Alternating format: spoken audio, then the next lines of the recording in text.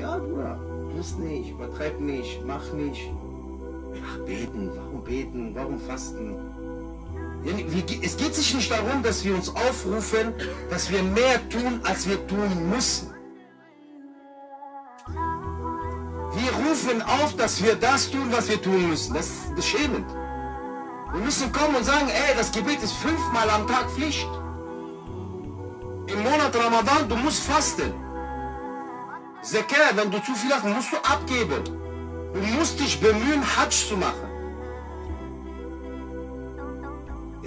Ich, wir sagen ja nicht, du musst noch mehr machen. Du musst noch irgendwie deine Gebete vermehren, freiwillige Gebete, die Sunna-Gebete zu den, zu den Gebeten, die fort sind, wie jetzt nach dem Isha, zwei Reka, Salat al-Witr oder Qiyam al-Layl.